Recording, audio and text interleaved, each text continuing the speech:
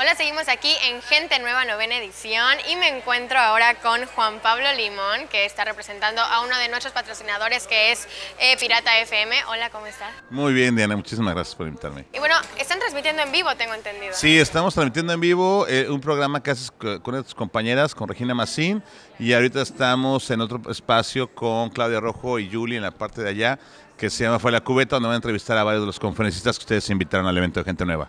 Muy bien. Y dime, ¿a ti qué te parece el evento de Gente Nueva? Mira, a mí me hace mucha emoción estar aquí porque tengo varios amigos que en México, cuando fueron mis años mozos, no tanto como el rector Miguel, que él fue fundador en la era cuaternaria, yo soy un poquito más acá, este, participaron en este evento, yo lo había conocido ya cuando estuve radicando allá, y cuando llegó a Cancún me invitaron a participar en la producción los primeros años, eh, y les- los apoyamos, el año pasado me invitaron de, de maestro de ceremonia, estuvo sensacional, y este año pues estamos como ya este, en el compromiso hecho con ustedes, apoyándolos en lo que es la transmisión y en lo que fue la campaña para invitar a la gente a que participara. Creo que es un evento que ayuda mucho a los jóvenes y creemos firmemente en que solamente podemos tener un mejor país teniendo mejores generaciones de jóvenes y hay que empezar a trabajar desde, desde ese momento. Estoy totalmente de acuerdo contigo. Bueno, muchísimas gracias.